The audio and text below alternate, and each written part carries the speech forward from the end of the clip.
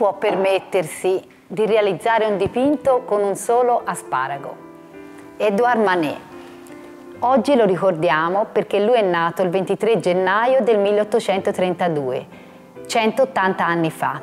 Manet aveva già realizzato un dipinto con un mazzo di asparagi per un amico, critico d'arte, Charles Eproussy. L'artista aveva ricevuto mille franchi invece degli 800 che avevano pattuito. Allora decise di omaggiarlo di un nuovo dipinto che prevedeva appunto un solo asparago. Manet realizza un'opera incredibile, umoristica ma allo stesso tempo vivace nella pennellata e nell'espressione. Solo un grande artista poteva fare un'opera del genere. Manet aveva realizzato altre piccole opere che inviava agli amici come piccoli doni.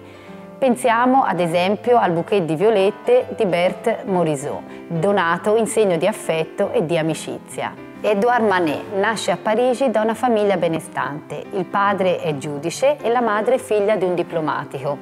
Il padre vorrebbe per Manet una carriera nell'Accademia Militare, ma Manet non supera neppure la prova di accesso.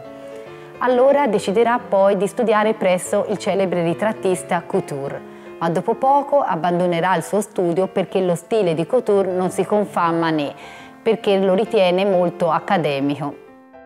Allora Manet viaggia molto, visita l'Olanda, la Germania, l'Italia, l'Austria. Lì ha modo di conoscere le opere di grandi artisti, ad esempio pensiamo alla pittura tonale di Giorgione e di Tiziano, pensiamo a Goya e al Greco e anche grande importanza avranno nel suo stile le stampe giapponesi, la conoscenza appunto di questa arte che viene dall'Oriente.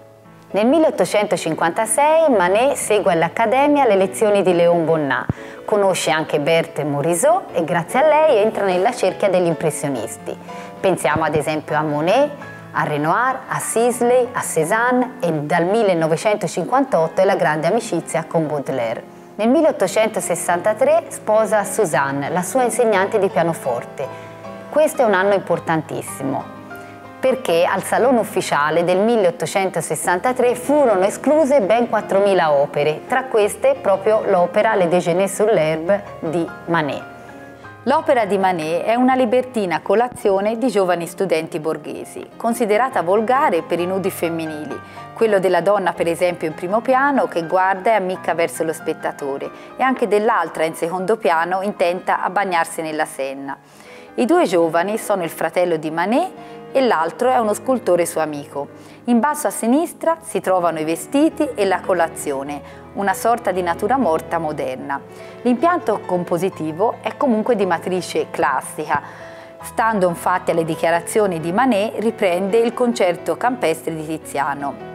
Lo scandalo comunque derivò dalla modernità dello stile e dal grande formato di questo soggetto quotidiano, con personaggi appunto reali e moderni, che spogliava l'opera dai suoi contenuti elevati.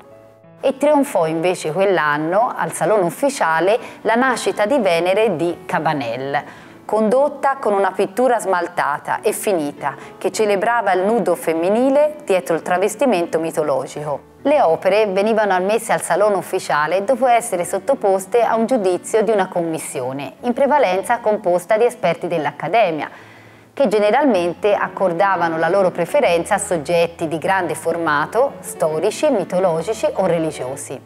Pensate che nel 1855 Gustave Courbet aveva visto escluse molte delle sue opere, aveva fondato per questo il padiglione del realismo, ma sarà il 1863 l'anno dello scandalo, la commissione annullò ben 4.000 dipinti e Napoleone III fu costretto a realizzare il Salon de Refusé. Dal 1873 Manet utilizza uno stile impressionista, anche se si differenzia dagli altri membri del gruppo per l'utilizzo del colore nero e per realizzare le sue opere in studio e non in plein air. Pensate che lui prenderà le distanze e non parteciperà a nessuna delle esposizioni, a cominciare per esempio dalla prima del 1874 presso il fotografo Nadar fino a quella del 1886. L'opera, il Bar delle Folie Bergère, rappresenta il suo testamento spirituale. Amore realistico per il quotidiano, uso di colori piatti, vivi, puri, senza chiaroscuro, suggestioni delle luci, Pensiamo per esempio a quelle riflesse nello specchio dietro al bancone, che ci permettono di vedere l'ambiente in cui è immersa questa cameriera dagli occhi malinconici, con l'uomo che le sta davanti. L'ambiente, alla moda della borghesia parigina, traspare e traspare lo spettacolo che si sta svolgendo in sala, di cui il solo dettaglio della gamba di una trapezzista sospesa su un'altalena è il solo indizio visibile avvertiamo comunque la folla e il chiasso che essa emana.